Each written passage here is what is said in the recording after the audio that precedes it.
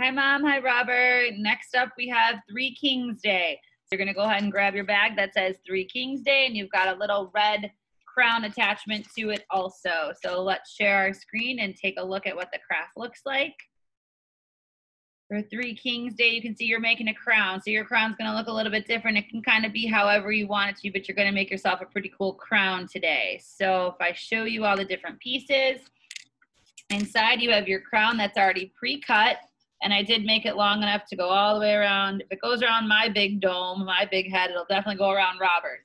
So you've got your crown and you're gonna decorate any part of the crown that you want, the sides, the top part, however you want. Inside this bag, you've got some peel off gold stickers you can put on it. And you can also see you've got a bunch of gems inside here too. So you can decorate it however you want. Uh, regular glue should work, or that were that fabric glue actually would probably work the best. Hot glue is always an option, but I know we try and shy away from that as much as we can. So you two have fun with this craft. See you guys soon. Bye.